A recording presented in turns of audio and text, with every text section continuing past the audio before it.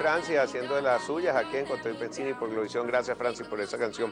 Eh, tenía, tengo aquí a Richard Blanco, el diputado de la Asamblea Nacional, presidente de la Comisión de Culto y Penitenciario. Quedamos en, en el tema de la santería. Eh, vamos a poner el video y quería hacer un comentario, por favor, si lo pueden pedir, eh, lo pueden rodar. Vamos a verlo, que lo trajo, que va a pasar mañana en la asamblea. Bueno, lo, ponen ahora cuando puedan. Yo quería leer esto que escribe David Placer, que eh, nos puede dar una respuesta a lo que puede estar pasando. Aquí tenemos entonces el. Bueno, imagínate, ese es el Cementerio General del Sur. Mira las urnas. Esto fue el 4 de este mes. Estuvimos allí en la mañana. Ahí estamos. Fíjense las, eh, los panteones abiertos. Ahí se puede generar una epidemia de magnitudes importantes y es el llamado que yo le hago a este señor ausente, alcalde del municipio Libertador, que ha hecho con los recursos que se pagan por concepto de impuestos municipales. No existe seguridad en el Campo Santo, no existe el módulo policial, quitaron la brigada motorizada que nosotros habíamos dejado con tanto esfuerzo. Y estoy yo haciendo la denuncia porque ustedes pueden observar allí cómo se ven las urnas en el Cementerio General del Sur y eso fue una semana y media antes del Día del Padre. Cuando fueron ahorita los familiares de los difuntos al cementerio, observaron semejantes circunstancias. Allí, repito, las autoridades sanitarias deberían cerrar momentáneamente, temporalmente el Camposanto mientras se realizan los dispositivos especiales para garantizarle la tranquilidad a los ciudadanos. Voy a leerte esto que dice David Placer, que es el autor de Los Brujos de Chávez. Dice, cada día puede producirse hasta ocho profanaciones de tumbas y los policías y los responsables del cementerio también tienen buenas relaciones con las redes encargadas de profanar tumbas. Dice, los enterradores de día desentierran de noche y venden los huesos a los paleros que utilizan los restos humanos en rituales secretos para pedir al alma de los difuntos que trabajen para ellos. Según las creencias de la palería, el muerto se convierte en un esclavo para el vivo. Allí permanece preso en secreto en un cuenco con plumas de animales y sangre derramada por el palero que ordenó su profanación. Bueno, imagínate tú. Y entonces, este, mira, yo te voy a echar un cuento que pude yo ver... Ya va, déjame persignarme un momentico, persígnese todo usted, por favor. No, que no, este, este, este, es una Oye, vale, pero esto es gravísimo. Que es gravísima, Pedro, y uno lo cuenta, y me da mucha pena con los vecinos de Caracas y de Venezuela, porque eso no es el cementerio general de Caracas solamente, ese fue en un momento determinado el cementerio de, todo lo, de toda Venezuela, por lo que te digo, fue decretado Patrimonio Histórico Artístico de la Nación, Patrimonio de la UNESCO, hay obras de incalculable valía. Nosotros hicimos un esfuerzo con el alcalde Antonio Ledesma de poner la pared perimetral, de rescatar las capillas velatorias que tenían 20 años que no funcionaban. Sistematizamos el archivo del Campo Santo, pero es que este señor, que es alcalde de Caracas, no se dedica a gobernar a la ciudad. Y nosotros lo decimos con preocupación, porque mira, la gente que nos está viendo, yo les recomiendo que vayan al cementerio, a la administración. No suban al ¿Qué vas a pedir tú mañana en la asamblea? Bueno, mañana no, cuando se haga la sesión. Cuando se haga la sesión. Este, en primer lugar, que hagamos una investigación con una comisión mixta entre la Comisión de Política Interior, que dirige la diputada Delsa Solórzano, y la Comisión de Asuntos Penitenciarios, que dirijo yo.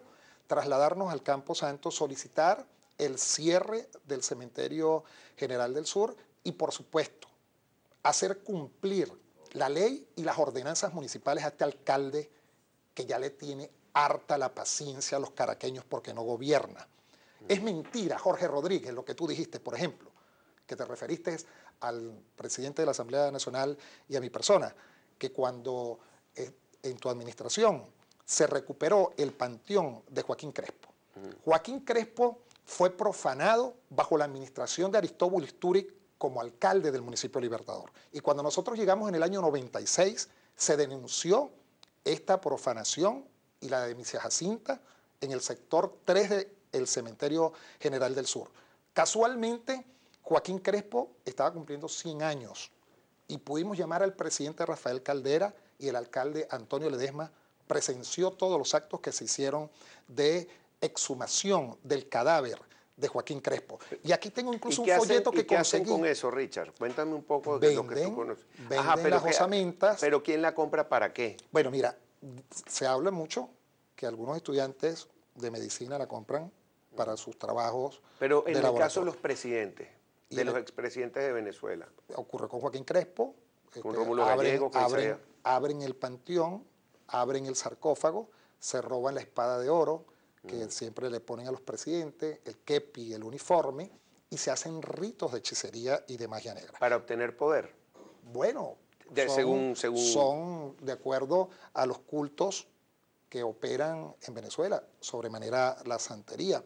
Hacen ritos en las noches dentro del Campo Santo, porque ahora el Campo Santo prácticamente está abierto a la merced de los delincuentes. ¿Y ahora qué va a pasar con esa denuncia que se hizo en la Fiscalía por parte de los nietos de los expresidentes? Bueno, debería la Fiscalía General de la República, a petición de los familiares del presidente Rómulo Gallegos, ir y solicitar que se exhume el cadáver de Rómulo Gallegos y de la señora Teotiste, para ver y determinar realmente si los restos están dentro de la urna donde fueron sembrados. Y si son los de ellos. Y si son los de ellos. Richard, también te tengo que preguntar sobre otro tema. Timoteo Zambrano hoy estuvo en Vladimir a la una y todo el fin de semana hubo una gran polémica sobre ese posible diálogo que parece que visitó al preso de conciencia Leopoldo López. Eh, ¿Me puedes contar un poco qué es lo que está pasando ahí? ¿Cómo ven los parlamentarios esta visita? ¿Qué es lo que está pasando? Bueno, mira, los parlamentarios y, los partidos políticos eh, tenemos la posibilidad de que nuestra conciencia nos indique lo que debemos hacer. En nuestro caso, la lucha por los presos, perseguidos y exiliados políticos nunca terminarán. Quien te habla estuvo preso. Quiero que todos mis hermanos que hoy se encuentran en esa situación puedan abrazar la alegría de ser libres. Nosotros creemos en el diálogo, como se lo hemos manifestado a todos los compañeros y se lo hemos manifestado al propio gobierno. Pero el diálogo no puede ser un monólogo, donde solamente el gobierno hable y donde imponga posiciones cuando tú no respetas a la otra parte. El propio Timoteo Zambrano, hoy mismo en Globovisión, dijo que había visitado a algunos presos políticos, eh, planteándole situaciones que su propio partido le ha indicado debe hacer porque son interlocutores de lo que es denominado el G4, partidos políticos que sacaron la mayoría de parlamentarios dentro de la Asamblea Nacional de Venezuela. Y bueno, lo informó hoy, dijo que su lucha también es por el respeto de los derechos humanos, que su lucha es porque podamos reconocer a la otra parte.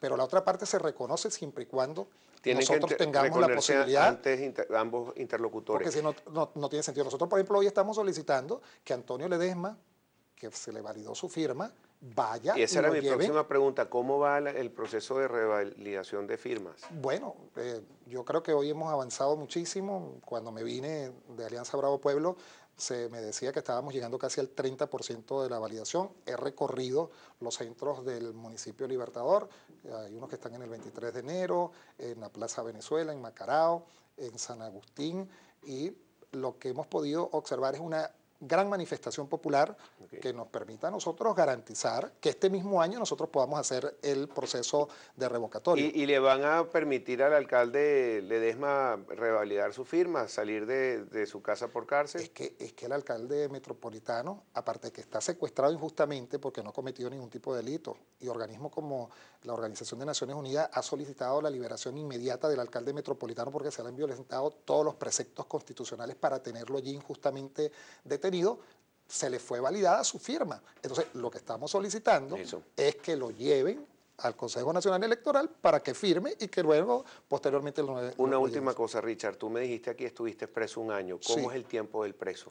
Mira, y se lo digo a todos los venezolanos, y por eso tenemos que ir al revocatorio. En democracia no pueden haber ni presos, ni perseguidos, ni exiliados políticos. Un día en la cárcel, mis queridos hermanos, es una semana, una semana es un mes, un mes es un año.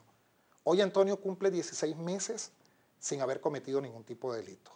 Leopoldo está arriba en los teques sin que haya profanado ningún delito en Venezuela, solamente tener sueños. Los estudiantes universitarios están en la tumba, presos, sin llevar sol, y tantos hombres y mujeres se han tenido que ir fuera de Venezuela. Vamos a buscar ese revocatorio para que puedan regresar y abrazar la alegría de ser Muchísimas gracias, diputado, por estar aquí y bueno, que tenga muchos éxitos allá en la Asamblea, entonces en su exposición.